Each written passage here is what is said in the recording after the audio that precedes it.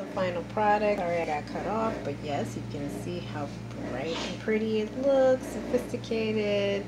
This LED light is also from the Dollar Tree. I'm just a little flash so you can see. Now, I'm going to show you, guys the piece de resistance.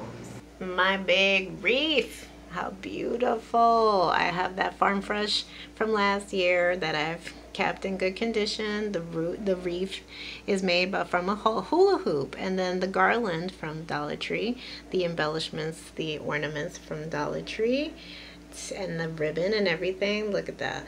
Look how sophisticated and pretty and high-end that can all look from the Dollar Tree. And then, of course, even the tree lighting is from the Dollar Tree again, anything is possible, y'all, with a little bit of creativity, a little bit of patience, and you are good to go. How darling.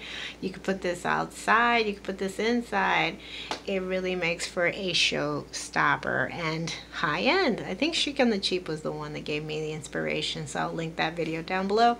But I hope you've enjoyed and you've enjoyed my DIYs. You've enjoyed these projects. Hope it inspires you for this year or next year. And yeah, even the little light, I put the the light I mentioned in my other video in the center so it could give you that really special pop. But yes hope you've enjoyed. The faux snow is yarn and it looks like fur but it looks like snow too. I love it. Anyway hope you've enjoyed. Hope you stay tuned. I will be doing more reviews coming soon. And uh, if you like what you see give us a like give us a share, leave us a comment down below what item here really spoke out to you. Let me know.